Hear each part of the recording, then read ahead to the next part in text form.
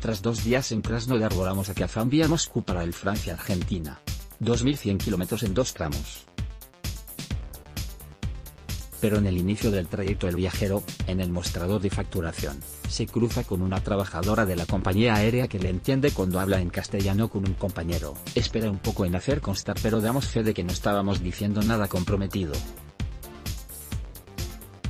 En el vuelo número 16 del Mundial es la primera vez que ocurre y la mujer solo dice, que gane la selección. Buen español, le contestamos y añadimos, ¿qué selección? ¿La rusa o la española? La española, por supuesto, responde, de sopetón. El reloj corre y no podemos preguntarle si lo dice por tener alguna relación con España o porque profesa simpatía por algún movimiento independentista dentro de este vasto país repleto de sensibilidades, etnias y culturas diversas, aunque nos habría dado tiempo porque también por primera vez un vuelo se nos retrasa. Apenas media hora. Inicio de fin de semana, final de mes. Vacaciones para muchos rusos. Aprovechamos para volver a revisar el coqueto aeropuerto de la localidad donde está concentrada la roja, que ya empezamos a conocer como si fuera el Prat. Un argentino toma una foto en Kazán, donde se celebrará el Francia-Argentina. Felipe Trueba F. Siempre se descubren cosas nuevas como unas muñecas del mundial de diversos países o un pequeño rincón de productos del FC Krasnodar, cuyo símbolo es un toro, del clásico equipo de la localidad, el Kuban Krasnodar, ni rastro de merchandising como si no existiera.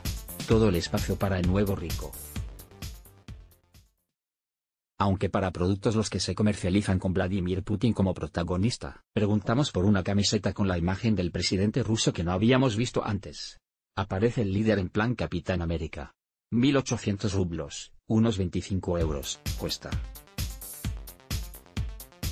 No pensábamos comprarla pero nos había picado la curiosidad. También se le puede ver en una revista con gafas de sol en plan turista, en fundas de móvil.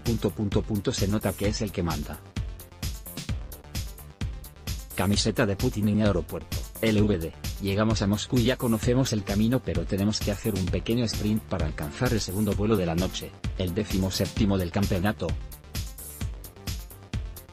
más corto y más futbolístico, podría haber sido perfectamente un aparato de aerolíneas argentinas, aunque tiene pinta de que se trata de aficionados pudientes y van muy tranquilos, sin perturbar la madrugada. Nada que ver con lo que espera esta tarde, el pueblo albiceleste está enferrecido y Kazán promete ser hoy otro festival de su imaginario, como se puede comprobar de un plumazo al llegar a la ciudad, en la que se hace de día con el público argentino paseando por sus calles. El viajero piensa en esto cuando regresa a la capital de Tartaristán. ¿Quién le iba a decir cuando descubrió esta ciudad en 2009 que volvería a visitarla tantas veces? Nunca digas nunca.